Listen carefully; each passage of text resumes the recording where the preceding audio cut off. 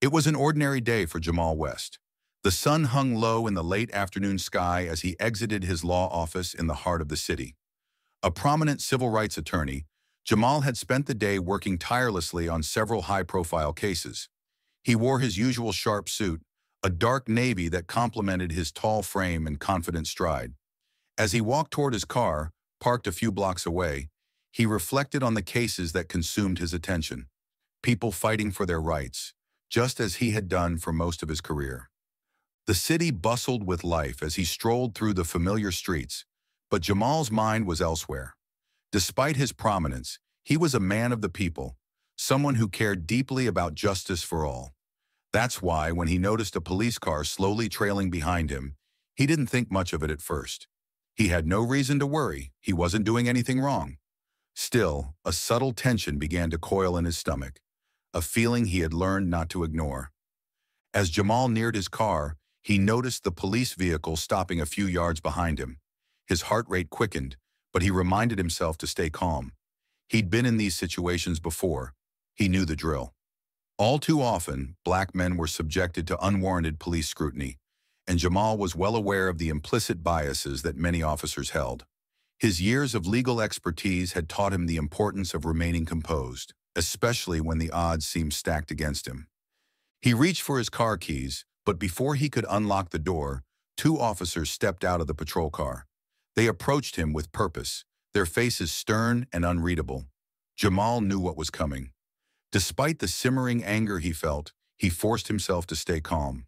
He raised his hands slightly, palms facing out, a universal gesture of compliance. Is there a problem, officers? he asked, his voice steady but edged with tension. The officers, a pair of men in their mid-30s with hardened expressions, didn't answer right away. They exchanged a look that Jamal recognized all too well, an unspoken agreement between them, one that confirmed their suspicions about him without even needing a word. Jamal could feel the weight of their judgment before they even spoke. He was used to being stereotyped, but this encounter felt different. There was something in their demeanor, something hostile. You mind telling us what you're doing around here? One of the officers finally asked, his tone dripping with accusation. Jamal glanced around bewildered. He was in the middle of a busy city street, near his office, in an area where he walked almost every day. I work nearby, Jamal replied, keeping his voice calm and collected. Is there a reason you're stopping me? His question seemed to inflame them further. Why don't you show us some ID? The second officer demanded. Jamal hesitated for a moment, his legal instincts kicking in. He knew his rights. He wasn't required to show ID without cause. But this wasn't just about the law. It was about surviving this encounter unscathed. He slowly reached into his pocket, pulling out his wallet. As he handed over his identification, he could see the officer's eyes narrow, their suspicion growing rather than easing. They examined his ID, glancing back and forth between the card and Jamal's face, as if searching for a reason to escalate the situation. You fit the description of someone we're looking for, the first officer said, though the vagueness of the statement made it clear to Jamal that it was just an excuse. He had heard this line before. This is just a misunderstanding, Jamal thought, trying to reassure himself. But the situation was about to take a dangerous turn. Despite having his identification in their hands, the officers continued to press Jamal with questions. They were looking for something, anything, to justify their actions. What are you doing out here dressed like that?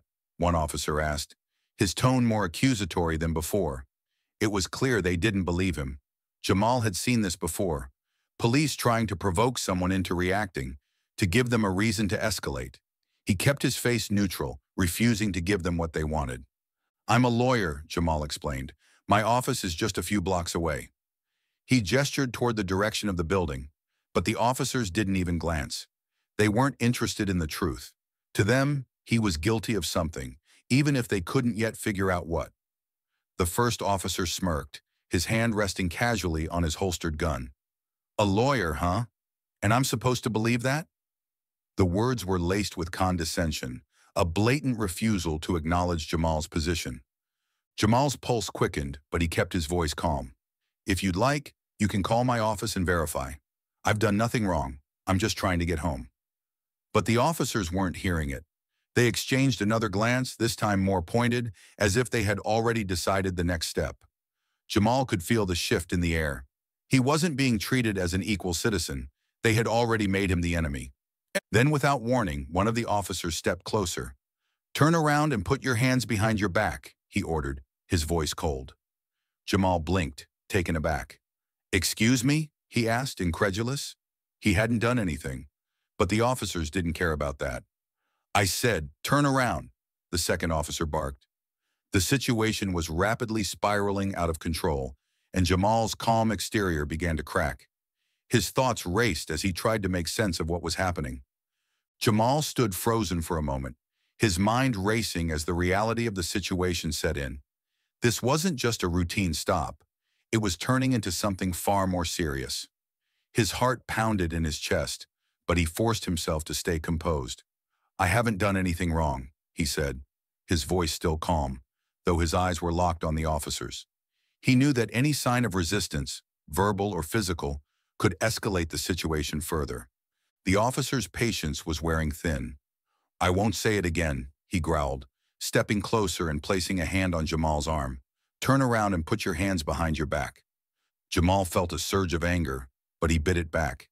Years of dealing with these types of encounters had taught him that the law wasn't always on his side, even when he was in the right.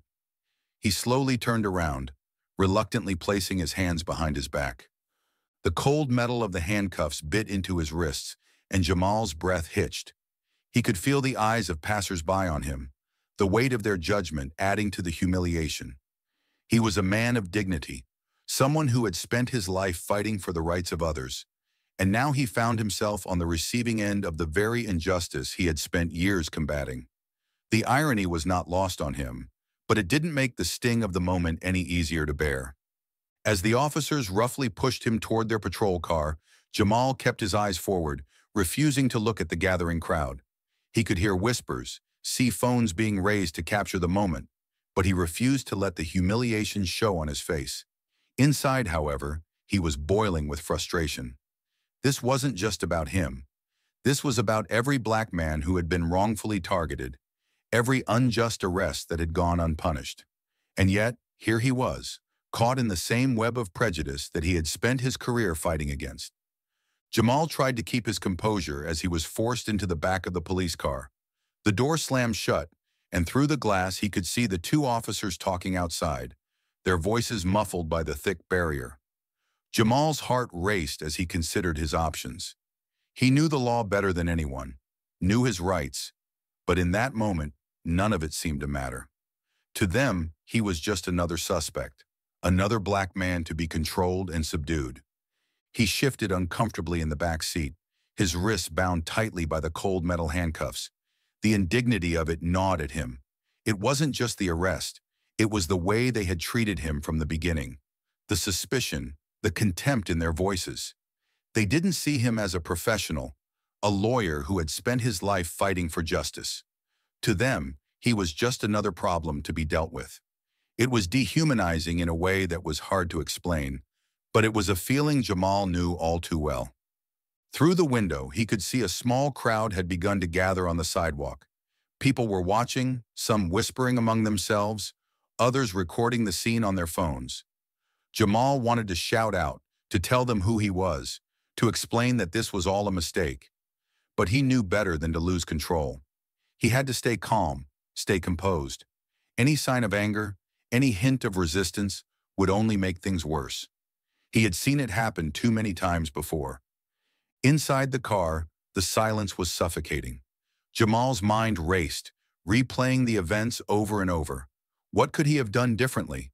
Was there anything that would have made the officers treat him like a human being instead of a criminal? As he sat there, surrounded by the weight of the situation, Jamal felt a deep sense of injustice settle into his bones. This wasn't just about him. This was about something much bigger, something systemic. And for the first time in a long time, he felt powerless to change it. The police officers finally got back into the car, the driver glancing at Jamal through the rearview mirror with an unreadable expression. We'll take him down to the station. Let the sergeant sort this out, the officer in the passenger seat muttered. Jamal felt a wave of frustration wash over him. They were treating this like it was routine, like they hadn't just wrongfully arrested him without cause. They didn't even seem to care if there was a reason for the arrest. To them, he was guilty by default. As the car pulled away from the curb, Jamal stared out the window, watching the city pass by in a blur. He had represented countless clients who had been in situations like this, people who had been stopped, searched, or arrested without cause. But this time it was happening to him. The irony wasn't lost on him. He had spent his career fighting against these kinds of injustices, but now, here he was, caught in the same system he had tried so hard to change. The drive to the station felt like an eternity. Jamal's thoughts raced, flipping between anger and disbelief. He wanted to shout, to demand an explanation, but he knew it wouldn't do any good. The officers had made up their minds the moment they laid eyes on him. It didn't matter who he was or what he had accomplished in his life. To them, he was just another black man to be controlled, another body to fill a cell.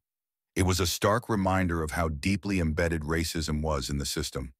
When they finally arrived at the station, the officers pulled Jamal out of the car, their grips firm on his arms. What are the charges? Jamal asked, his voice calm but laced with frustration. One of the officers shrugged, as if the question didn't matter. We'll figure that out inside, he replied dismissively. Jamal bit back his anger, knowing that this was far from over. As they walked him into the station, the humiliation settled deep within him, but so did his resolve.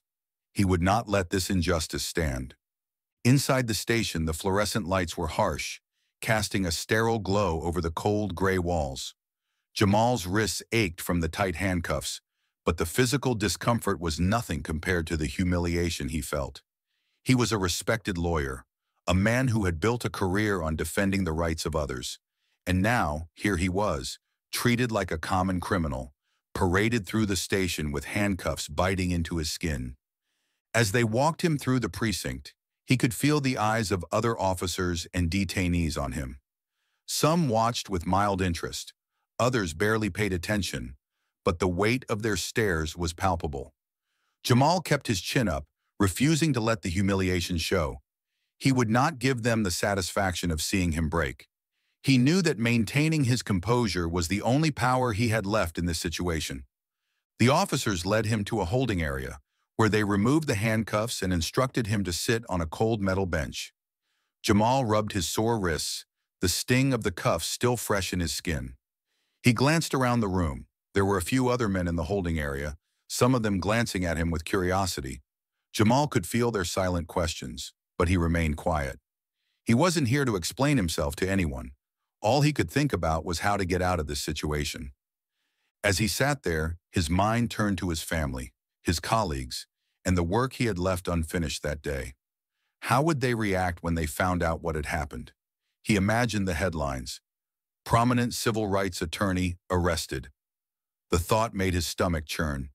He knew this incident would have far-reaching consequences, not just for him, but for everyone who had ever looked up to him as a beacon of justice. And that made the humiliation even harder to bear. While Jamal sat in the holding area outside, the scene was escalating. Unbeknownst to him, several people who had witnessed his arrest had taken to social media, posting videos of the event. Within hours, the footage had gone viral, sparking outrage among those who recognized him. The headlines were already circulating online. But they weren't just about a man being wrongfully arrested. They were about Jamal West, the civil rights attorney, being treated like a criminal. The public's reaction was swift and fierce. Social media platforms lit up with posts demanding answers, with hashtags calling for justice and accountability. People were shocked that a man like Jamal, someone who had spent his life fighting for others, could be subjected to the same injustice he had dedicated his career to eradicating. The irony was too bitter for many to swallow, and soon the story was picked up by local news outlets, who sent reporters to the station. By the time Jamal realized what was happening, the media storm had already begun. As he sat quietly on the cold bench, the police station had become a circus outside, with reporters and cameramen lining up to capture the moment he was released. The officers inside the station had no idea who they had just arrested, but they were about to find out.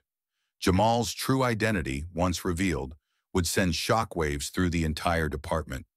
The officers who had arrested him remained oblivious to the growing spectacle outside.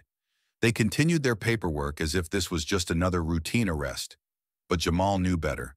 He could feel the tide shifting, and he knew that once the truth came out, there would be consequences. The public wasn't going to let this go quietly, and neither was he.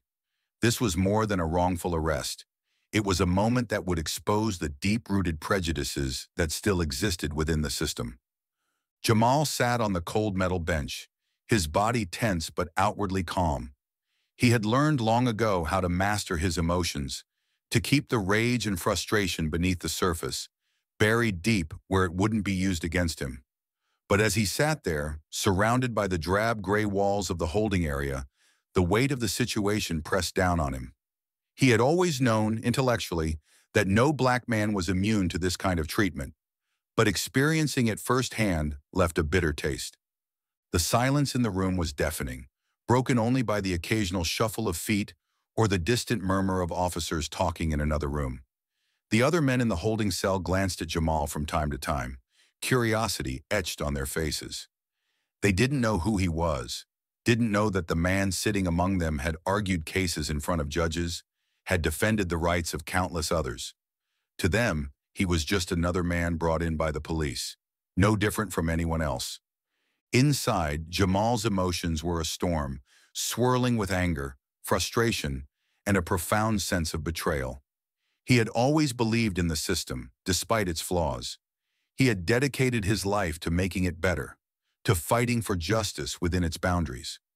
But now, sitting in a cell, wrongfully accused, he felt the full weight of its failure pressing down on him. He wasn't just another man being mistreated. He was a symbol of everything that was wrong with the system. But Jamal remained silent. He knew that there would be a time to speak, to tell his story, but now wasn't that time. Now, he needed to remain calm, to wait for the moment when he could use this injustice to create change. His mind began to clear, his thoughts shifting from anger to strategy. He wouldn't let this moment break him. He would turn it into something that would force the system to confront its own flaws, once and for all. What the officers didn't know, and what would soon become clear, was that Jamal West was no ordinary man. He was a force, a symbol of justice and progress within the legal world. With years of experience as a civil rights attorney, Jamal had built a reputation as a tireless advocate for equality. He had argued in courtrooms across the country, challenging systemic racism, and fighting for those who had been wrongfully accused or mistreated. His presence in the cell was a testament to how deeply racism and prejudice were ingrained in the system. To the officers who had arrested him, he was just another black man in a suit. They didn't recognize his face, didn't know his name, and had no idea that they had just made a grave mistake. But Jamal's power wasn't in his fame, it was in his knowledge. He understood the system better than they did, knew the laws they were meant to uphold better than anyone in that precinct. Even as he sat in handcuffs, Jamal held the upper hand, though the officers didn't realize it yet. His silence wasn't submission, it was strategy. He knew that once his identity was revealed, the situation would unravel quickly. The police had acted without cause, and soon they would be held accountable for their actions. It wasn't a matter of if, it was a matter of when. Jamal's quiet dignity in the face of injustice was his most powerful weapon. He didn't need to shout or resist to make his point. He would let the truth speak for itself, and when it did, the system that had failed him would be forced to confront its own corruption. He wasn't just a victim, he was a symbol of the very fight he had been waging his entire career. It wasn't long before the precinct began to buzz with activity. The officers who had arrested Jamal continued to file their reports, still oblivious to the storm that was brewing outside. But slowly, word began to spread. A young officer, fresh out of the academy, happened to glance at one of the reports. The name Jamal West caught his eye. He frowned, staring at the name for a moment longer. It seemed familiar, but he couldn't place it. Curious, the young officer did a quick search on his phone, typing in the name with a sense of unease. The results popped up immediately. Jamal West, civil rights attorney, had been making headlines for years. The young officer's eyes widened as he scrolled through the articles, reading about the high-profile cases Jamal had worked on, the victories he had won for marginalized communities. He stared at the phone, his heart racing. This was no ordinary arrest. They had detained one of the most prominent civil rights attorneys in the country. The officer quickly made his way to his superior, the sergeant who had been overseeing the station that night. Sir, I think you should take a look at this, the young officer said, handing over the phone. The sergeant's face darkened as he read through the articles, realization dawning on him. You've got to be kidding me, he muttered under his breath. This is the guy they brought in? Within minutes, the sergeant was calling the officers who had arrested Jamal into his office. The tension in the room was palpable as he showed them the information. The officers, who had been so confident in their actions, suddenly looked nervous. They exchanged uneasy glances, realizing the gravity of what they had done. They hadn't just arrested anyone, they had arrested Jamal West, a man who had the power to turn their careers upside down. As the reality of Jamal's identity set in, the officers' attitudes shifted drastically. What had started as a routine stop and arrest had turned into a potential disaster for the precinct. The sergeant, now fully aware of the situation, demanded answers. How did this happen? He barked at the officers who had made the arrest. They fumbled for excuses, their earlier bravado replaced by fear and uncertainty. We, we thought he matched the description of a suspect, one officer stammered. Though even as he said the words, it was clear that the excuse was weak. The sergeant wasn't buying it. He knew that their actions had been driven by nothing more than racial profiling, and now they were in serious trouble. The weight of the situation was starting to settle on their shoulders, and the room was thick with tension. Meanwhile, Jamal sat in the holding area, unaware of the chaos that was unfolding in the station. He had sensed a change in the officer's behavior, but he didn't yet know the full extent of what was happening. He remained calm, his mind working through the legal avenues he could pursue once he was released. He knew that this incident would not go unpunished, and he was already preparing to take action. Back in the sergeant's office, the officers were scrambling to figure out their next move. We need to fix this, one of them muttered, his face pale with fear. The sergeant nodded grimly. You think? We just arrested one of the most well-known civil rights attorneys in the country for no reason. This is going to blow up in our faces. He glanced at the phone in his hand, knowing that the story was already out. There was no way to sweep this under the rug.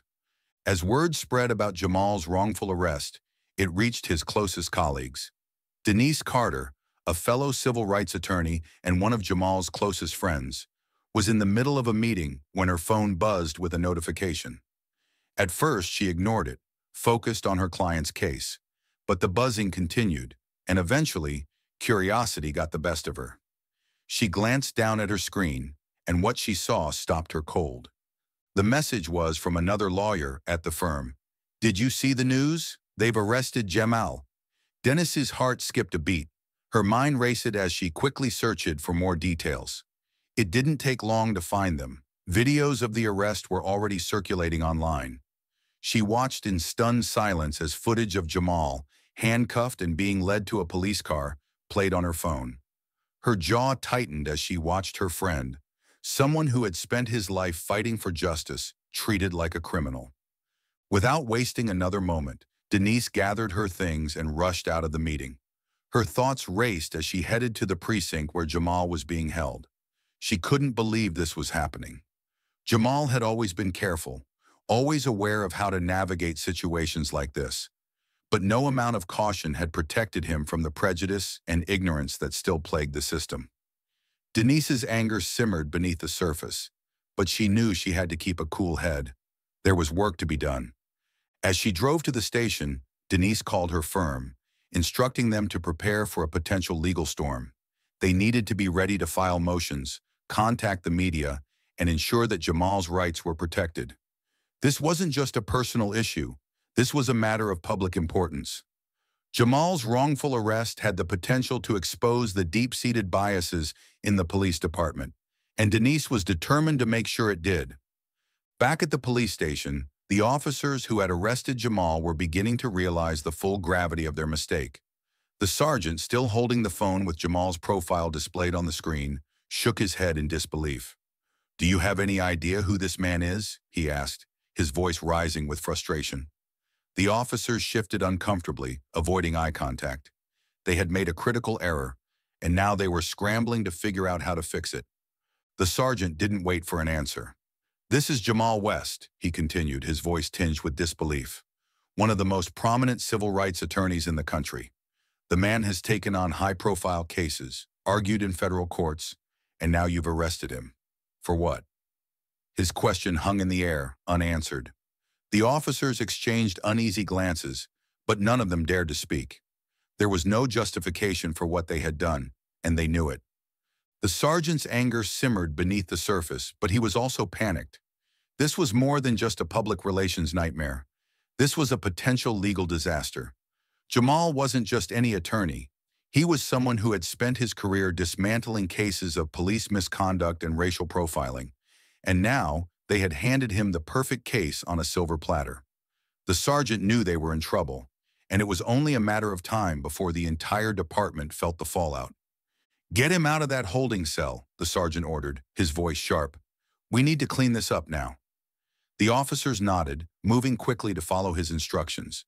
But as they headed toward the holding area to release Jamal, they knew it was too late to undo the damage.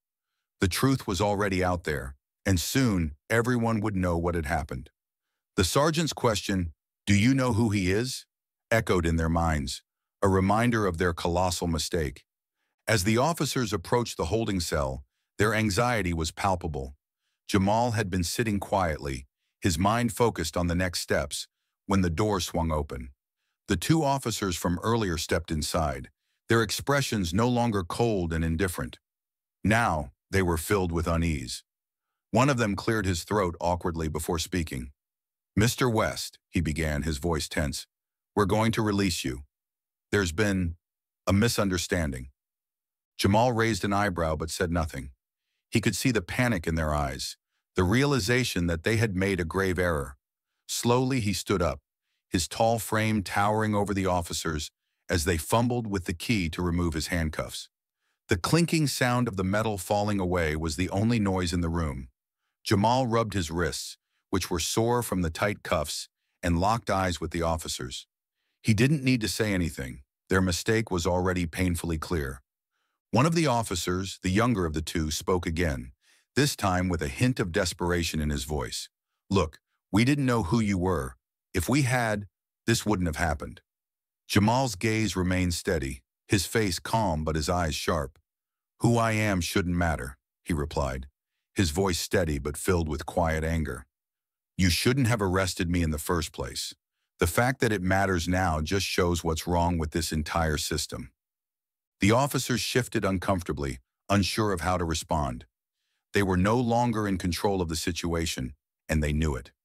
Jamal had the upper hand, and the consequences of their actions were starting to close in on them. As Jamal stepped out of the cell, the weight of their panic settled heavily in the room.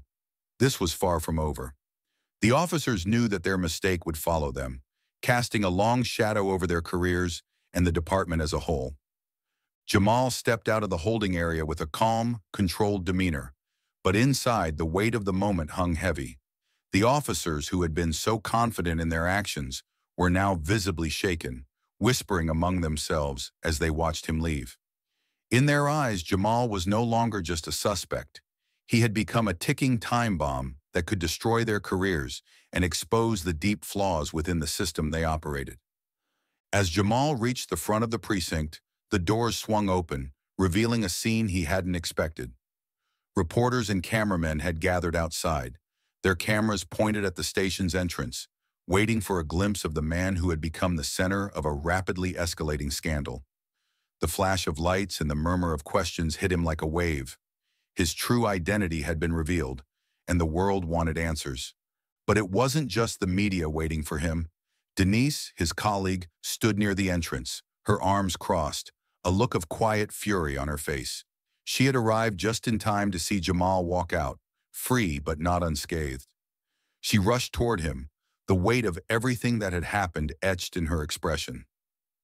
Are you okay? she asked, her voice steady but filled with concern. Jamal nodded, but the look in his eyes told her that this was far from over. As they walked past the reporters, Jamal felt a mixture of relief and exhaustion. He hadn't even begun to process the depth of what had just happened, but he knew that the world outside would soon be dissecting every moment. His identity, now fully exposed, wasn't just that of a civil rights attorney. It was a man who had lived through the very injustice he fought against. And now, everyone would know his name for more than just his courtroom victories. The world now knew Jamal West as more than a civil rights attorney. He was a man who had been wronged by the very system he had dedicated his life to improving. News outlets quickly picked up the story, framing it as both a tragic irony and a damning indictment of systemic racism. Jamal had spent years defending people who had experienced similar injustices, but now his own wrongful arrest had thrust him into the spotlight in a way he hadn't expected. As the news spread, more details about Jamal's career began to emerge. His high-profile cases were revisited by the media, painting him as a modern-day crusader for justice. Jamal had represented victims of police brutality, fought against discriminatory laws, and worked tirelessly to hold powerful institutions accountable. His legal victories were numerous, but now his personal story had become just as important as the cases he had fought. Jamal's name was on every news station, in every article, and across social media. People who had never heard of him before were now championing his cause, demanding accountability from the police department that had wrongfully arrested him. But for Jamal, this wasn't about fame. It was about justice. He had spent his life advocating for others, and now he was faced with a decision. How would he use this platform to create lasting change? Denise, always at his side, reminded him of the gravity of the situation. This isn't just about you, Jamal, she said one evening, as they prepared to address the media. This is about every black man who's ever been in your shoes. They're looking to you now, and you have a chance to make this more than just a news story.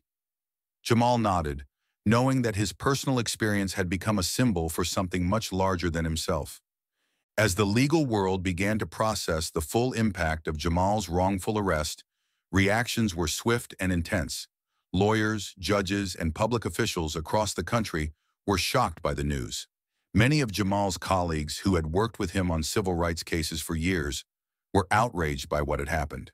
They knew the system was flawed, but seeing one of their own subjected to such an injustice brought the issue into sharp focus. Legal organizations issued statements condemning the actions of the police officers involved in Jamal's arrest, calling for immediate investigations and reforms. The American Civil Liberties Union, ACLU, publicly supported Jamal, demanding that the department be held accountable for racial profiling. Prominent law firms that had previously worked with Jamal reached out, offering their resources and support to ensure that justice would be served. But the backlash wasn't limited to Jamal's allies. Within law enforcement circles, there were whispers of frustration and defensiveness, some officers within the department saw Jamal's wrongful arrest as an isolated incident, refusing to acknowledge the systemic issues that had led to the mistake. Others, however, recognized the growing public pressure and feared that this could lead to sweeping reforms they weren't ready for. Jamal, meanwhile, remained focused. He had spent his entire career navigating the legal system, and he knew that real change wouldn't come from outrage alone. It required action. As he watched the legal world react to his story, he began to strategize, thinking of how he could turn this moment into something meaningful. The legal community was behind him, and he knew that with the right approach, this could be the catalyst for real reform.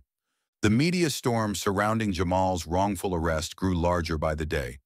National news networks picked up the story, broadcasting segments that dissected every moment of the encounter, from the initial arrest to Jamal's release. Pundits and commentators debated the implications, with many pointing out the irony of Jamal's situation.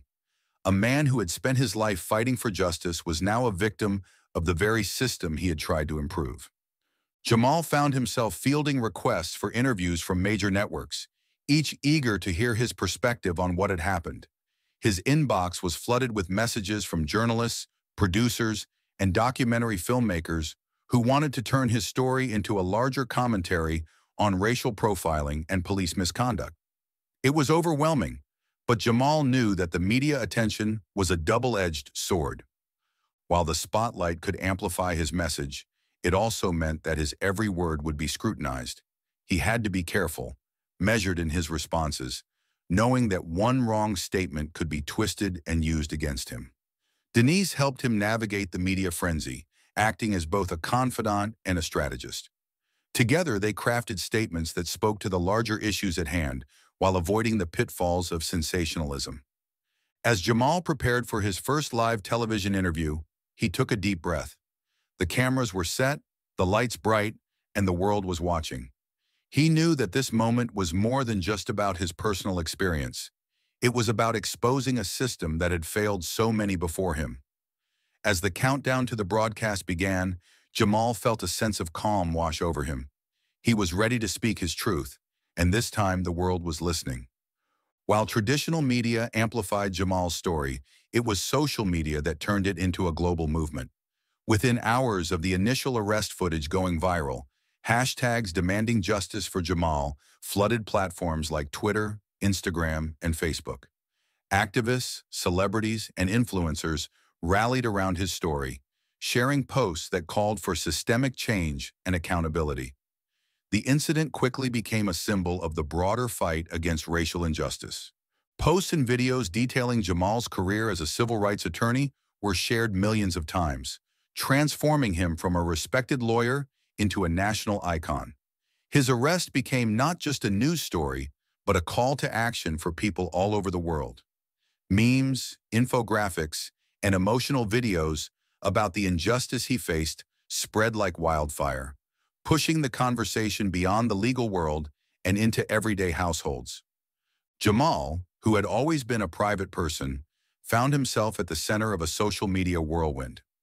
Messages of support poured in from all corners of the world, people sharing their own stories of wrongful treatment by the police, families of victims of police brutality reaching out to thank him for his work.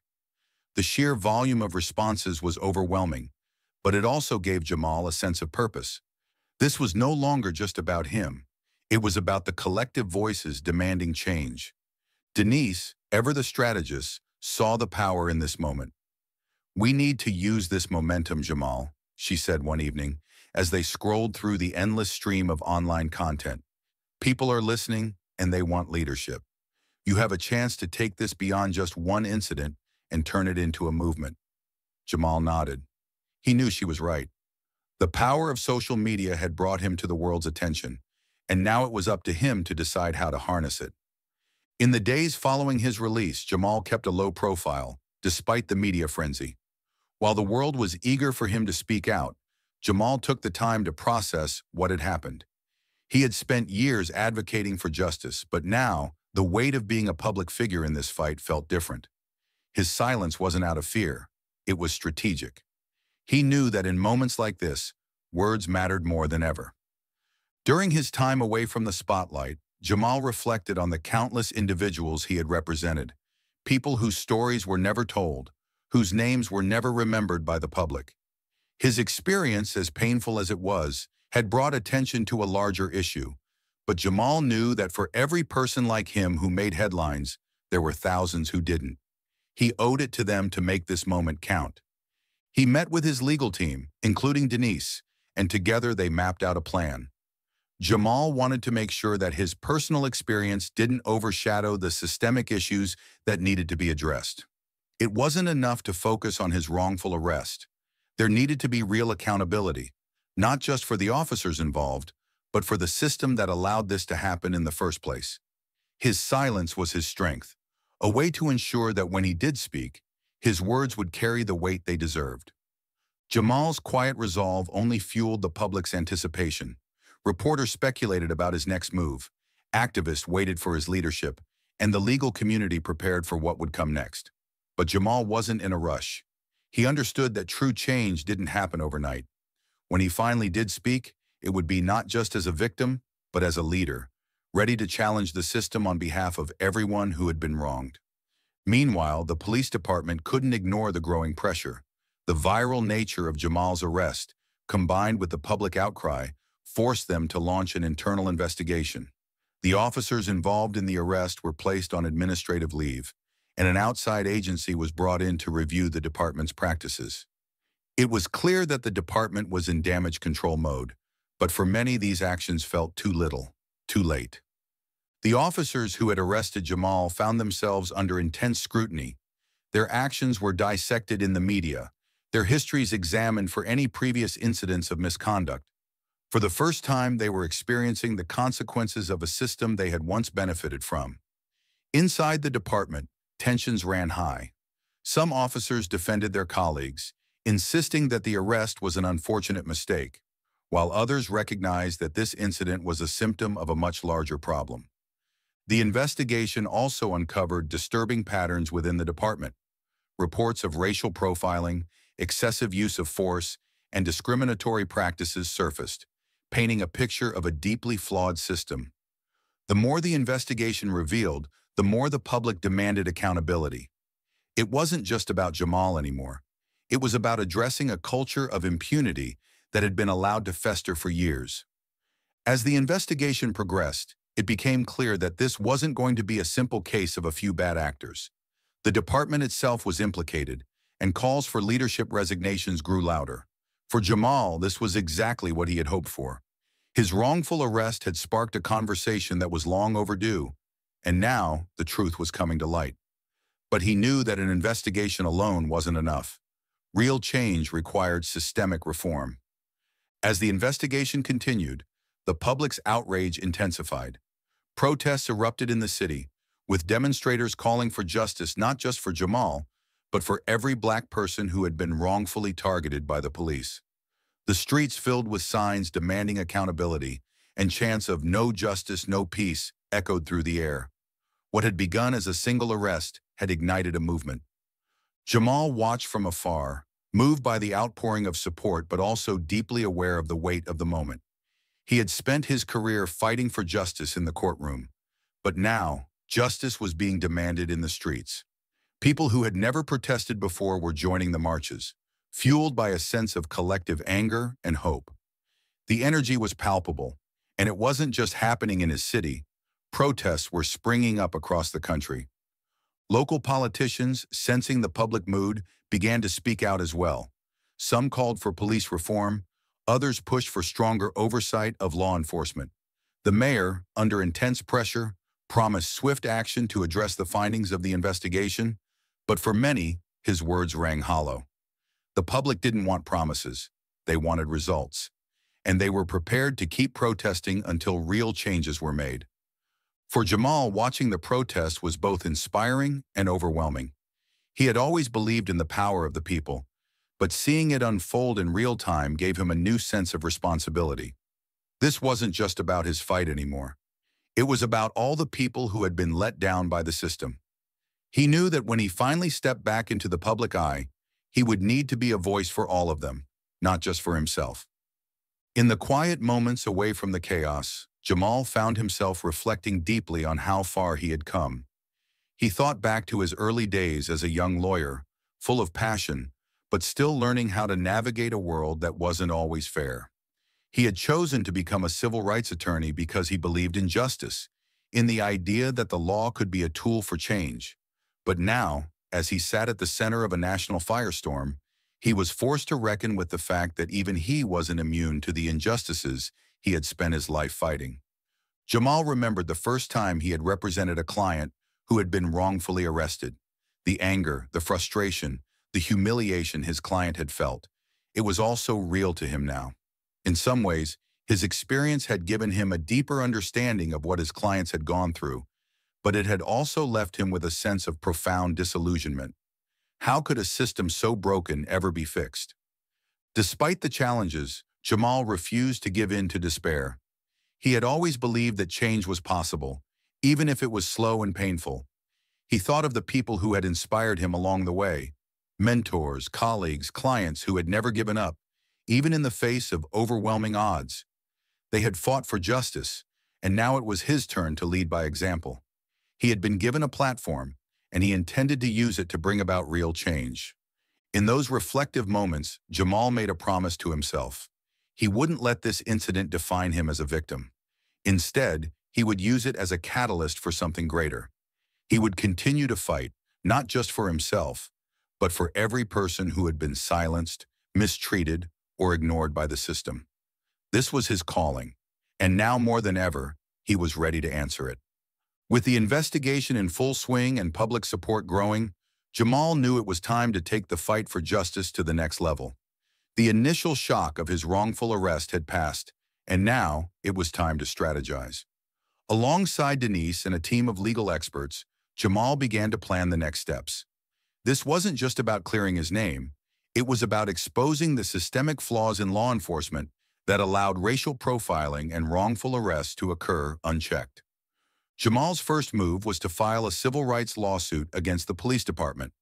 The lawsuit was not only aimed at the officers who had arrested him, but also at the department as a whole, alleging a pattern of discriminatory practices. By doing this, Jamal hoped to force the department into accountability, not just for his arrest, but for the countless other individuals who had suffered similar injustices. He knew that change would only come if the legal system demanded it. The lawsuit was a bold move, and Jamal knew it would face resistance from the department and its legal team. But he also knew that he had the public on his side. The media continued to cover his story extensively, and every new development was met with renewed outrage from the public. Jamal had become a symbol of the fight against systemic racism, and people across the country were rallying behind him, demanding justice not just for Jamal, but for all victims of police misconduct. As the lawsuit gained momentum, Jamal and Denise began working with advocacy groups, community leaders, and politicians to push for broader reforms. They advocated for changes in police training, increased oversight, and the implementation of policies that would prevent racial profiling and hold officers accountable for their actions. Jamal's fight for justice had evolved into something much bigger than his personal experience. It had become a movement for change. As Jamal's lawsuit against the police department unfolded, the media attention around the case intensified. News outlets followed every development, and Jamal became a fixture on television, radio, and online platforms. Interviews with him and Denise appeared regularly, where they spoke about not only the specifics of the case, but the broader issues of racial injustice and police accountability. Jamal's calm, composed demeanor in the face of such adversity resonated deeply with viewers. But with the growing media presence came its own set of challenges. While many praised Jamal for his bravery and resilience, there were also detractors, some commentators attempted to paint him as opportunistic, accusing him of using the arrest to advance his career or agenda. Others questioned the validity of his claims, suggesting that the officers had acted within reason. The noise from both sides made the public conversation more intense, but it only fueled Jamal's resolve. Denise became a key figure in managing the media storm. She fielded interviews, organized press conferences, and made sure that Jamal's message remained clear and focused. Together, they worked tirelessly to ensure that the heart of the issue, systemic injustice, remained at the forefront of the conversation. The media's fixation on the drama of the case was unavoidable, but Jamal and Denise were determined not to let the true message be overshadowed by sensationalism. Throughout it all, Jamal remained centered on his mission. The media attention was a tool, a way to amplify his voice and the voices of those who had been silenced for too long. He knew that change wouldn't come overnight, but by keeping the pressure on through the media, he could ensure that the issues he was fighting for wouldn't fade from the public consciousness. The media storm was swirling, but Jamal was ready to weather it.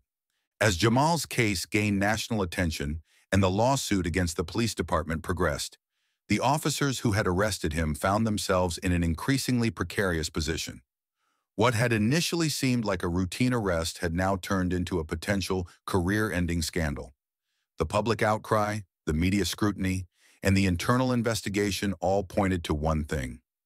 Their actions had been deeply flawed, and now they were facing the consequences. The officers' panic grew as more details of the arrest were made public. They had expected that the department would protect them, that their actions would be defended as part of their duty. But as the investigation revealed deeper issues within the department, it became clear that the higher-ups were looking for someone to blame. The officers feared they would become scapegoats in a larger attempt to placate the public, and avoid further backlash. In a desperate attempt to salvage their reputations, the officers began working with their legal teams, crafting a narrative that painted the arrest as a misunderstanding rather than a deliberate act of racial profiling. They claimed that Jamal's behavior had been suspicious, that they were simply following protocol, and that they had no idea who he was. But the public wasn't buying it. The footage of the arrest told a different story, one of arrogance and prejudice. As the pressure mounted, the officers' desperation became more apparent. Their legal teams leaked statements to the press, trying to garner sympathy by claiming that the officers were being unfairly targeted. But every move they made seemed to backfire, further cementing the public's belief that they had acted out of bias. The officers were learning the hard way that their actions had consequences, and no amount of excuses could undo the damage they had caused. The officers who had wrongfully arrested Jamal soon found themselves at the center of multiple legal battles. Jamal's lawsuit against the department was only the beginning. Civil rights organizations filed additional complaints, and some of Jamal's supporters even called for criminal charges to be brought against the officers for misconduct. The weight of their actions was bearing down on them, and it was clear that this was not a fight they could easily win. The legal consequences weren't limited to the officers themselves.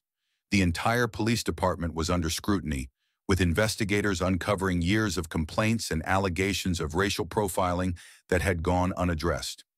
As more information came to light, it became clear that Jamal's arrest was part of a much larger problem within the department. Calls for reform grew louder, and the public demanded accountability, not just from the officers, but from the leadership that had allowed this culture to persist. Jamal's legal team, led by Denise, was relentless in their pursuit of justice. They filed motion after motion, demanding transparency from the department and pushing for reforms that would prevent similar incidents from happening in the future. The legal battles were long and grueling, but Jamal remained focused. This wasn't just about winning a lawsuit. It was about creating lasting change. As the legal battles played out in court, Jamal became more than just a plaintiff. He was a symbol of the fight for justice, a reminder that no one, not even a prominent attorney, was immune to the biases and flaws in the system. The legal consequences for the officers and the department were severe, but they were also necessary. Jamal knew that true justice would only come when the system itself was reformed, and he was determined to see it through. As the lawsuits progressed and the public continued to rally behind him, Jamal found himself at a crossroads. He had always been a private person, someone who preferred to work behind the scenes, using his legal skills to help others without drawing too much attention to himself. But now, he was a public figure, and people were looking to him for leadership. The media, the activists, the people on the streets, they all saw Jamal as a voice for change. Jamal had to decide how he wanted to move forward. Did he want to continue his work as a civil rights attorney, quietly advocating for justice in the courtroom? Or did he want to step into a more public role, using his platform to push for broader reforms? It was a decision that weighed heavily on him. He knew that with the spotlight came pressure, and with pressure came responsibility. But he also knew that this moment was bigger than him. After much reflection, Jamal made his decision. He would continue his work as a lawyer, but he wouldn't shy away from the public eye. He had been given a platform, and he intended to use it. He would speak out against injustice, advocate for policy changes, and work with organizations that were fighting for systemic reform. Jamal knew that his experience could help bring about the change he had always fought for, and he was ready to embrace that role. Jamal's decision wasn't just about him, it was about the people who had supported him, the people who had looked to him for leadership, and the people who were still suffering under the weight of an unjust system. He was ready to take on that responsibility, knowing that the fight for justice was far from over. This was his path now, and he was determined to walk it with purpose and conviction. With his decision made, Jamal embarked on a new chapter in his life. He continued to fight in the courtroom, representing clients who had been wronged by the system, but he also stepped into a more public role, becoming a vocal advocate for police reform and racial justice. His story had inspired millions, and now Jamal was using that inspiration to push for real, lasting change. He worked closely with advocacy groups, helping to draft legislation that would increase accountability for law enforcement and protect the rights of marginalized communities. Jamal's work went beyond just winning cases. He was focused on changing the very systems that had failed so many for so long. It was a long and difficult journey, but Jamal was no stranger to perseverance. He knew that change wouldn't come overnight, but he was committed to the fight. The public continued to rally behind him, and Jamal's name became synonymous with the fight for justice. He appeared at rallies, gave speeches, and met with lawmakers, always focused on the larger goal. For Jamal, this wasn't about personal fame or recognition. It was about ensuring that the injustices he had faced would not be repeated.